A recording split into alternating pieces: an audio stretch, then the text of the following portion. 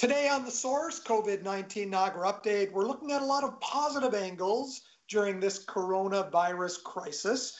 And our next guest will talk a little bit about a diversion that might interest you to keep yourself entertained, to keep yourself busy while you are shut in at home. I'd like to welcome Niagara College. Do I call you a graduate now? Andres yes. Coimbra Castedo. Hey, nice to meet you all. I'm a recent graduate from Niagara College, and, and we got a game out, and I'm excited to be here. Young, dishonorable knight.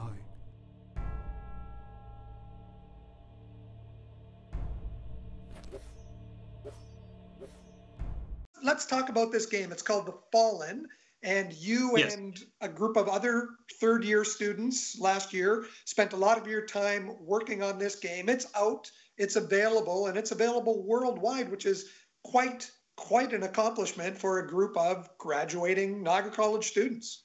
Yeah, I mean uh, that was the reasons why I wanted to get it on on the store Steam because you know that once you put it out there, it's really easy for anybody in the world to act compared to uh, like try to do it ourselves or distribute it ourselves. Can you take us through this game? What is it all about? Uh, what kind of focus is it? And what does the player do while he's playing the Fallen? You start out as a knight uh, who, who, it's in the afterlife, and he, and he seeks redemption because he suffered a dishonorable death, and so he seeks uh, to to accomplish um, go through the the land of the fallen and, and seek out the, the guardians and defeat them in order for him to seek redemption. We want to make a game that we enjoy playing. That's a thing that we usually play. So everybody starts saying like, okay, what do you play? What do you play? And then we eventually came down to this idea. Everybody's role can be divided into two, either a programmer or an artist. I'm personally an artist. What language were they using to program this game? I use C Sharp because we developed the game inside of the Unity engine, uh, very powerful engine, and it just works. It just works basically only on C Sharp right now. Andres, uh, do you have an estimate as to how many total hours went into getting this game ready to launch it on Steam? We were working sometimes 12, 16 hour, no, no, no, not 16 hours, but more than 12 hour a day sometimes because you have a deadline. You have to finish the game by that deadline. You mentioned that the game is available on Steam, and that's a worldwide platform. Why is it important that this game is now available on something like Steam? What is the process to getting this game noticed, recognized, and have the word spread?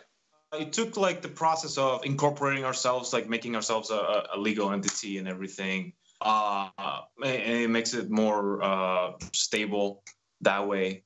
Um, and then after that, of course, we need to go into our own social medias and then spread the word ourselves, go on Facebook, Twitter, uh, YouTube. And we actually had a few streamers and YouTubers make videos that they found the game on their own. And that was kind of crazy seeing like somebody play the game that we've never talked to, we've never seen. They just discovered the game, played the game, and, and market the game on our behalf. What's next for Andres?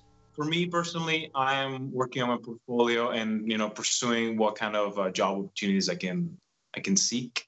Uh, as a team, we're still trying to uh, brainstorm ideas to maybe something coming coming up in the future.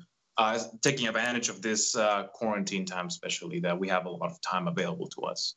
Congratulations on the success of launching this game, and good luck. We hope to see it catch on on a huge worldwide scale.